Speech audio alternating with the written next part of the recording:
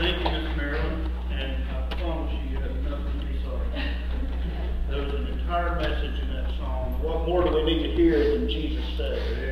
And I appreciated the start over, to be honest with you, because I got to hear the first lyrics to that again, and every blood that touched the ground cried, Jesus saves, Jesus saves. Been a wonderful morning, hasn't it? Joshua chapter 11. We're going to look throughout the whole chapter, and for the sake of time this morning, I'm not going to read the whole chapter. We're going to take our text from verse 15. And I know a lot of my messages lately have been talking about us having a mission. It's been talking about us having a personal mission. It's been talking about us having a corporate mission. Well, today I want to stop and I want to look at a little different avenue at that mission. I want to look at how we complete the mission and how we should complete the mission. Uh, a little introduction to this as you finish turning there. Moses has begun uh, God's journey of removing the children of Israel from bondage. He's leading them through their journey to the desert. He's taking them to their promised land. And if we go back into Deuteronomy chapter 31, we'll see that Moses had been told of God that he would not be going over into the promised land. And we know probably the reason for that, if you're familiar with that story. But I want to look that Moses didn't give up. And Moses, even though he knew after all these years in the desert of leading God's children, he was still going to be instrumental in the finish of that work. Moses began to encourage the children of Israel. Moses reminded them that it was God himself that would go over before them. He reminded them that it is God who would defend them. He reminded them that it is God who would destroy those that rose against him. He reminded them that God would not fail them. He reminded them that God would not forsake them. And then in Deuteronomy chapter 31 and verse 7, it says, Moses called unto Joshua and said unto him in the sight of all of Israel, Be strong and of good courage. For thou must go with this people unto the land which the Lord has sworn unto their fathers to give them. Thou shalt cause them to inherit. And that inherit, talking about the promised land that they had been wandering to receive. Moses would go on to die, and Joshua was left with the responsibility to lead the children of Israel over Jordan to the promised land. What a responsibility that was dropped on Joshua's shoulders. The sermon today I've entitled A Completed Mission. And we know that the ending of this account, as the Bible goes on to reveal, was the Lord kept his promise. And they, the children of Israel, were, enter, were able to enter into the land flowing with milk and honey. I will just read one verse this morning as our main text, but we will utilize the rest of the chapter uh, throughout our study this morning. The verse I want to read is verse 15. As the Lord commanded Moses his servant, so did Moses command Joshua so did Joshua. He left nothing undone of all that the Lord commanded Moses. May in our mission this morning we be found to leave nothing undone. Dear Heavenly Father, Lord, we thank you again for this day. We thank you for all parts of this service. Lord, we thank you for the beautiful singing. We thank you for the message through song.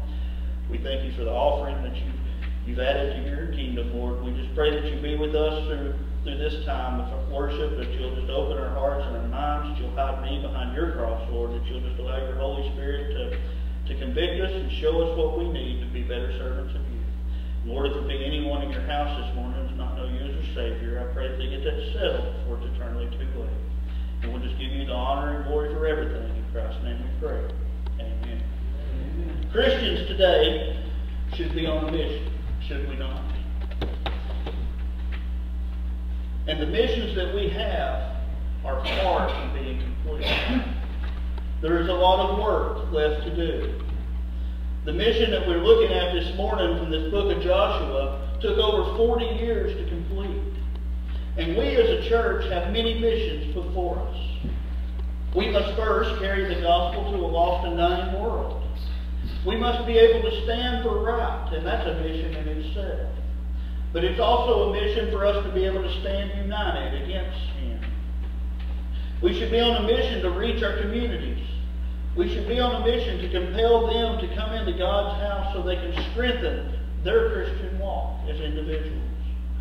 Many missions we have before us. And many of these missions, if not all of them, have been started by someone else.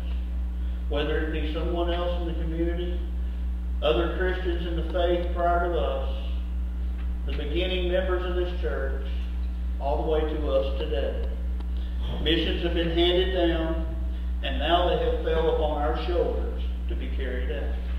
Just as Joshua stood before the children of Israel and accepted the responsibility, we as the church today have to accept this responsibility, that there's work to be done. Be encouraged this morning. Don't be burdened because of this mission.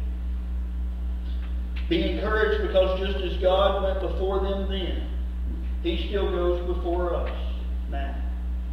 Just as God defended them then, He still defends us today.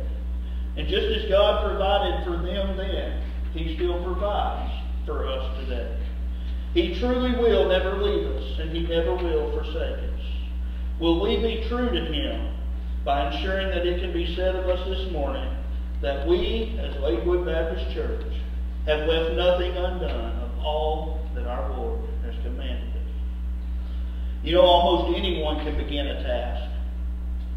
Even anyone can begin a task that's going to take 40 years to complete. But do we have the perseverance to finish the work? The Lord is wanting, and the Lord is willing to bless persevering obedience.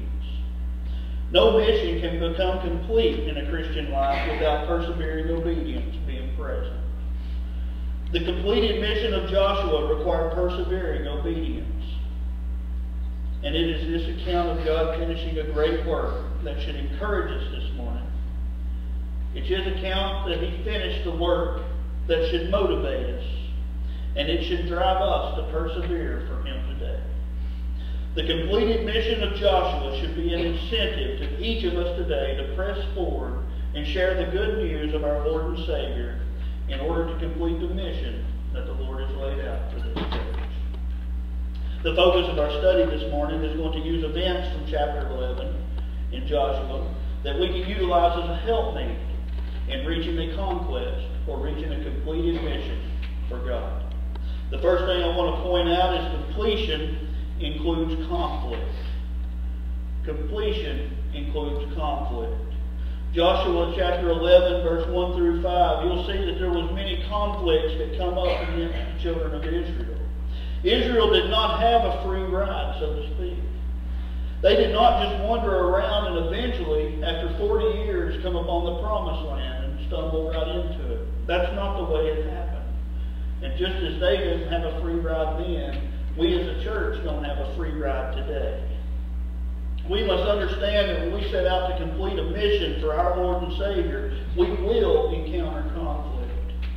Many people today, when they encounter an opposition, they just lose their interest. They just throw in the towel, so to speak, and they move on to another project, or they move on to another task. This is not, and I repeat, this is not displaying a persevering obedience. And when we as Christians give up like this, we are forgetting the cause. We are forgetting what Christ done for us at the cross of Calvary. And we forget the devastation that lies ahead for those who die without knowing Christ as their Savior. These conflicts should not impair us, but these conflicts should empower us. Why? Because we should expect them. And when we expect the conflict, we have the expectation that our Lord has already defeated them.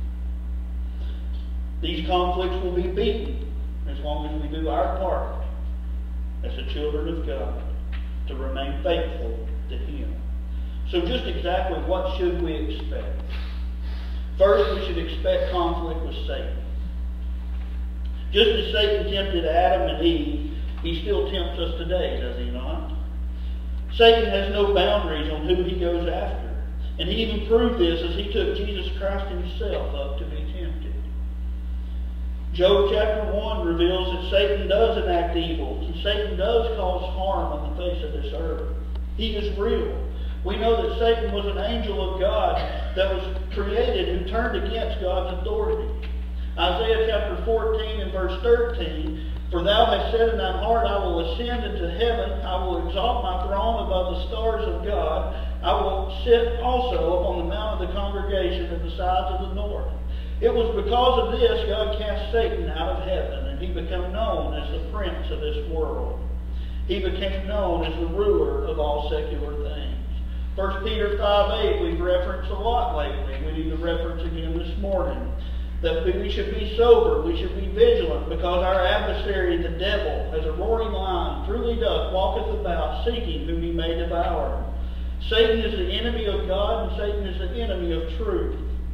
And Satan does all that he can to tempt us and turn us away from spiritual matters. Revelations chapter 12, verse 9 reminds us that Satan leads the whole world astray, and he works by various means. Satan appeals to our pride, does he not? Satan interferes with the teaching of truth, does he not? And let me warn you today that sometimes Satan has even been known to place false believers within our church as stumbling blocks.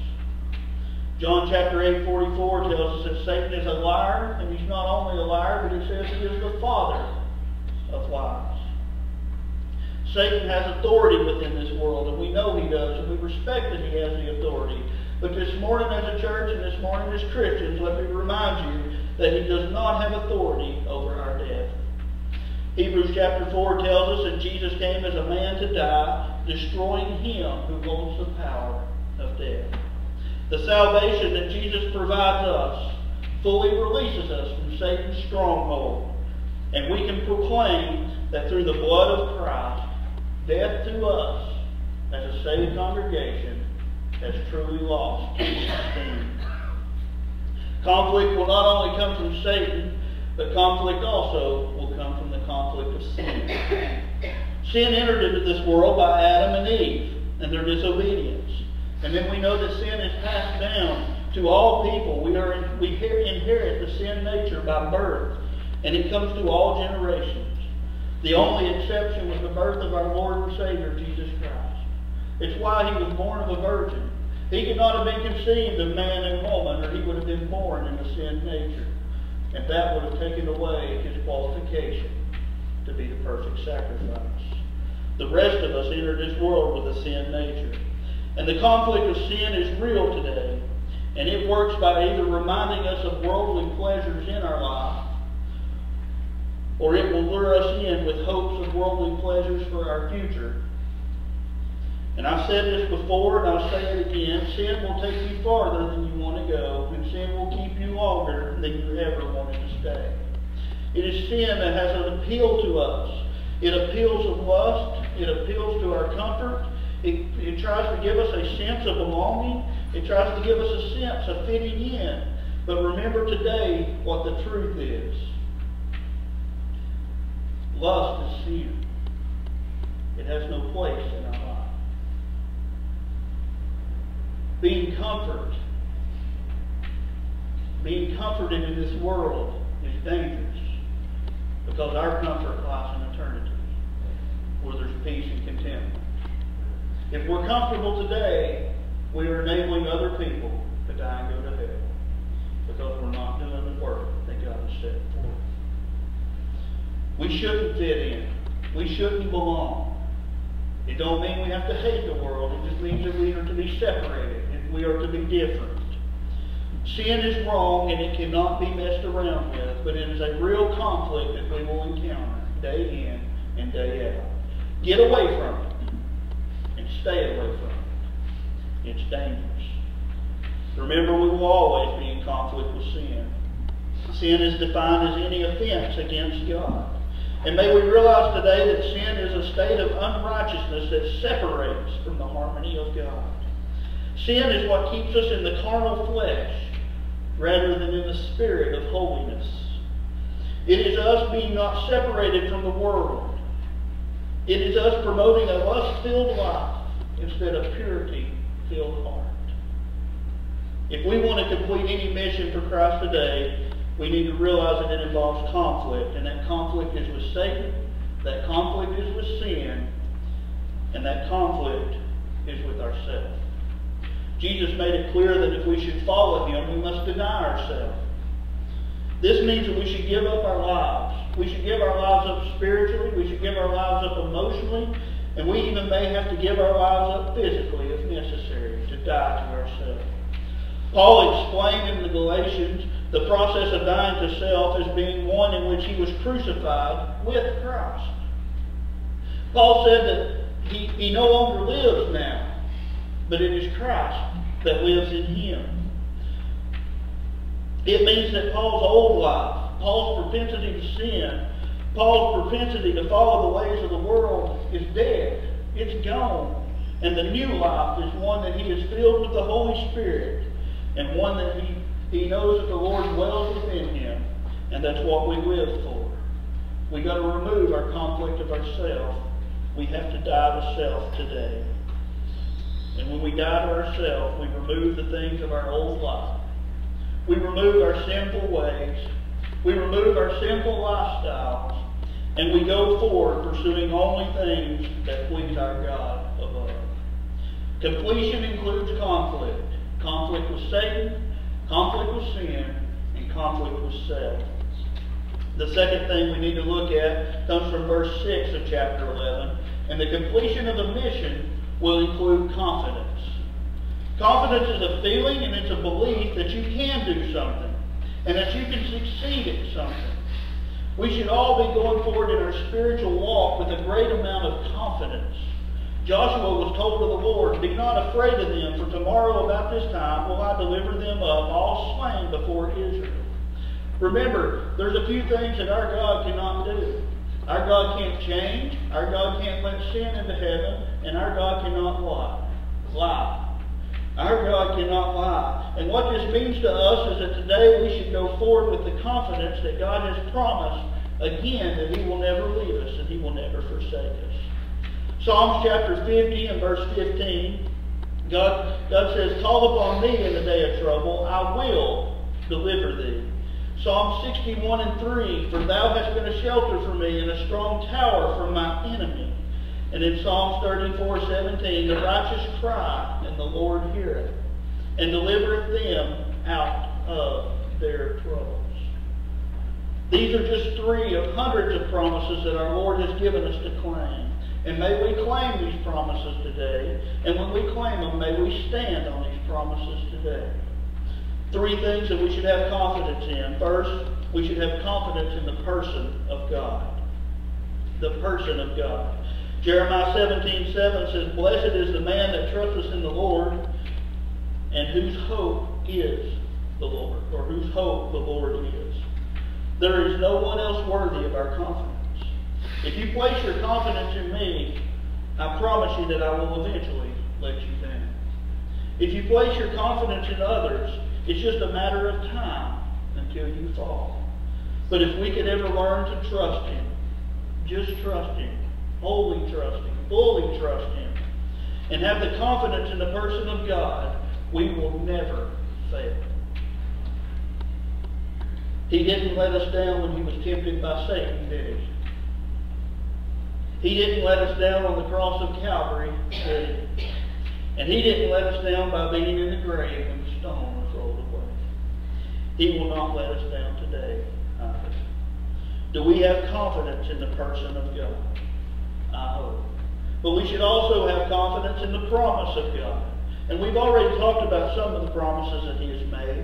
And we can rest assured today that these promises will be kept. But I have to remind you here of another promise that should cause us to walk as Christians with our head held high. John chapter 14, 13, he promised, And I go and prepare a place for you. And I will come again and receive you unto myself, that where I am, there ye may be also. Why should we work for him? It seems like such an elementary question, does it not? But we forget the answer. Because we are not a forgotten people. Our time on this sin-filled and this forsaken earth is limited. It might feel like an eternity while we're here. but it's limited. And it's only a short time compared to the eternity in heaven. And we can have confidence in the promise of God that He is coming again to receive us. We must be busy. We must be busy serving God, and we must continue in the confidence of the purpose of God, the confidence in the promise of God. But we must also have confidence in the power of God.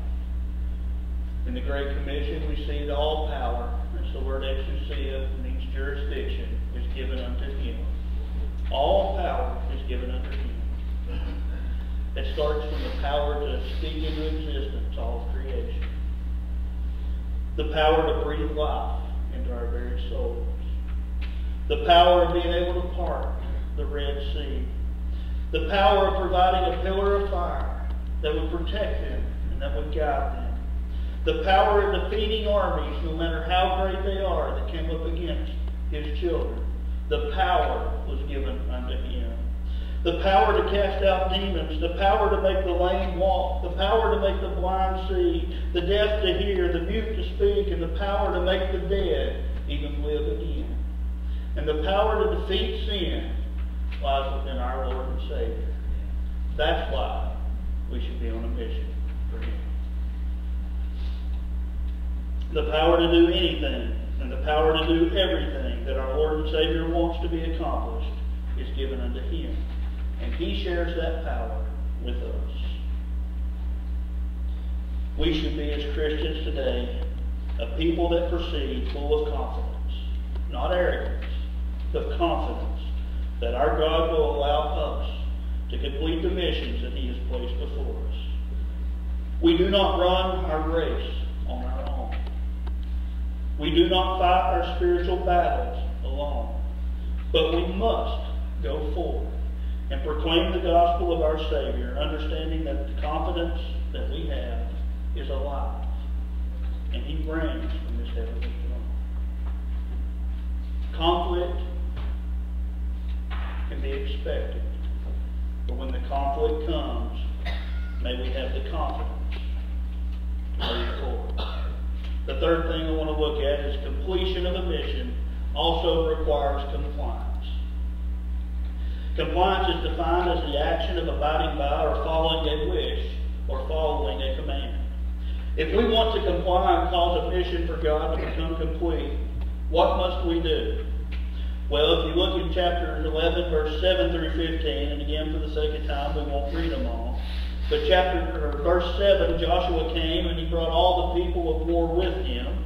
Verse 8, they left none of them remaining. Verse number 9, and Joshua did unto them as the Lord bade him. In verse 10 through 14, we see the deliverance of the enemies, or the deliverance of the children from their enemies by means of war and individual accounts. And it brings us to verse 15, which we use as our main text. And so did Joshua. He left nothing undone that the Lord has commanded of us. I said as I opened this morning that we, I hope we can be a church that can be said that we've left nothing undone. How do we do this? How do we comply with leaving nothing undone of our Lord? Three things. First, listen to the Lord. We know we can't usually physically hear the Lord speak. I'm not saying it don't happen. I'm just saying usually we don't physically hear the Lord speak. But how do we listen to the Lord? I believe we hear him through his word. And I believe we hear him as we study the Bible. The truths that lie ahead of us are held in his word. We can read of the prophecies and we can look ahead to the fulfillment of them. God will speak to us through His Word. God speaks to us through His Scriptures. And we know that all Scripture is given by inspiration of God, is profitable for doctrine, for reproof, for correction, for instruction in righteousness. I simply ask you this morning, have you heard from God this week? And if you haven't, have you read His Word this week? It's a good place to start if we want to comply with completing a mission. After we listen to God, we should look to God to be in compliance. And we know we cannot physically see our Lord. So how can we look to him? I relate this to our prayer life. In the Old Testament, you know, only the high priest was able to go into the Holy of Holies. Only the high priest could go behind the veil and offer the sacrifice for all of the people. The rituals of the tabernacle, though, were done away with when our Lord hung his hands out on the cross and cried, It is finished. When he gave up his ghost, the veil was rent from top to bottom. And what that done is that gave each and every one of us direct access to our Heavenly Father through the Son, Jesus Christ. If we truly want to accomplish a completed mission for Christ today, are we complying with his commands of pray without ceasing? Colossians chapter 4 2 says, Continue in prayer and watching the same with thanksgiving. Jeremiah 33 3 says, Call unto me, and I will answer thee, and show thee great and mighty things which thou knowest not. Call unto me, call unto the Lord, and he will open our eyes, and he will allow us, as a church this morning, to see great and mighty things in this community that we can't even fathom could take place. Are we being compliant with our Lord's mission? Compliance is listening to the Lord. Compliance is looking to the Lord. And compliance is leaning on the Lord. To lean on the Lord means to me to live each day, to live each minute, and to live through each circumstance that we will ever face by nothing more than faith. Galatians 2.20 says, I am crucified with Christ. Nevertheless I live, yet not I, but Christ liveth in me. And the life which I now live in the flesh, I live by the faith of the Son of God, who loved me and gave himself for me. If we lose our faith, we are surrendering our strength by which we live. Completion of a mission requires a compliance with the commandments of our Lord and Savior. To complete a mission, we must understand completion does include conflict. Completion does include confidence. Completion includes compliance. And when these three things align together, we will understand that completion also includes compensation. Chapter or verses 16 through 23 gives us this, and we'll just look at verse 23. So Joshua took the whole land. Compensation was the whole land. And then the peace that we need today at the end of that verse. And the land rested from Church, we can be comforted today that our work for the Lord is not in vain. We should face our conflicts daily. Understand our conflicts is going to come from Satan. Our conflicts is going to come from sin. And our conflicts are going to come from ourselves. But when we face these conflicts, we should have confidence in the person of God. Confidence in the promises of God. And we should have confidence in the power of God to see us through. And it is that confidence that will then drive us to compliance if we listen to Him through studying His Word. If we look to Him by falling on our knees before Him, humbly in prayer. And when we lean on Him, living by faith, understanding that He will take care of our every need. When these things come together, we will see the compensation of our God to our mission. The earth that we trod today is full of wickedness. It is full of deceit. It is full of evil. And it is full of destruction. But there is coming a day in which good, there is coming a day in which perfection, and there is coming a day in which this very earth will be ruled and reigned by Jesus Christ himself. And when that happens, this earth will truly rest from all war. Until then, people need to be reached.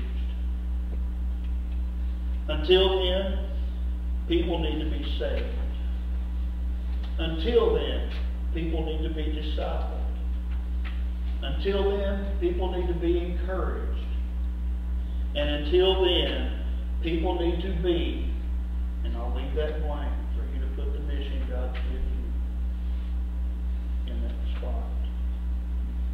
Defeat confidence, or defeat conflict. Have confidence. Live in compliance and look for our heavenly compensation. May we complete the mission that God has for us this morning. I'll close with 1 Corinthians chapter 15, 58. Therefore, my beloved brethren, be ye steadfast, unmovable, always abounding in the work of the Lord.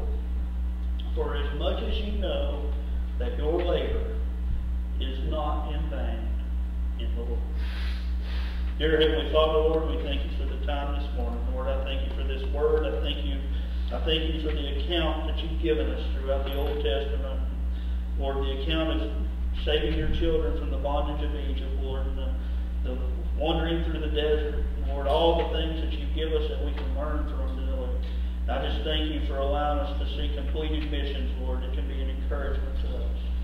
And I pray that today you protect us as a church, protect us as individuals, Lord, from the conflict of sin. And we may realize that, that sin separates us from you and that we just look to you and we keep sin dealt with. We know that you are faithful and you are just to forgive us of our sin and cleanse us from all unrighteousness, Lord. And I just pray that if there be anyone in your house this morning again that's not know you as a Savior, that you just allow the Holy Spirit to show them that you paid a price. And they don't have to deal with the conflict of sin any longer. You can take that burden from them. And Lord, I just pray that you give us confidence in, in your promises, in your person. Lord, give us confidence in your power as we go forward to complete the mission that you've laid before us. And Lord, I just pray that you allow us to be compliant today, Lord. Allow us to fall on our knees before you.